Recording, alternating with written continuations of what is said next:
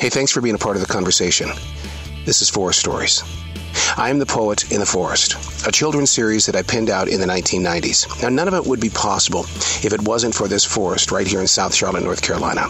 I talk about it so much that I thought maybe it's time that you get to know what has inspired me for 30 years. Thanks for being a part of the conversation. Welcome back to the forest. This one's a tough one. Right here in the meadow, between our home, the creek, the lake, amazing tall grasses survive. But I chose to study my martial arts inside this meadow. And as I practiced my poomsaes, my forms, my kicks, my blocks, you could always tell that there was something that was here. And as I look at this lay of land right now, which is so smooth with this amazing green, you would never know that a third degree black belt put his soul into this soil.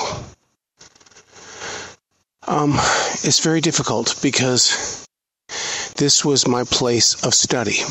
This was my place of receiving. And I know for a fact that history will never, ever see the black belt grew from this area, from first black belt to second to third. We called them dans in Taekwondo.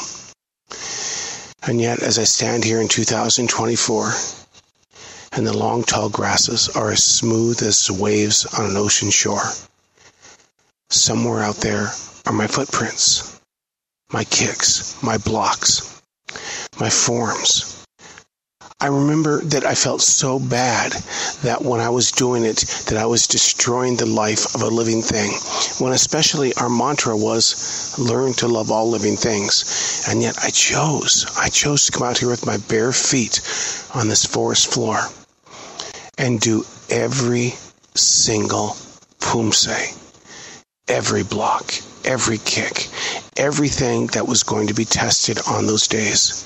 And now, as I look at it, I'm deeply saddened because what I see today, all of this green, doesn't represent the black belt path.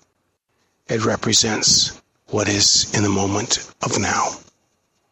Nobody's going to remember this. Nobody, nobody. And yet I was here. And when I'm gone, nobody, nobody is going to know that this was my dojang.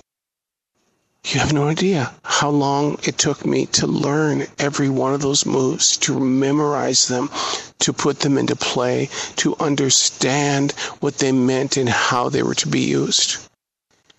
And yet today, there is nothing, nothing here that says that a black belt path exists. Hey, thanks for being a part of the conversation.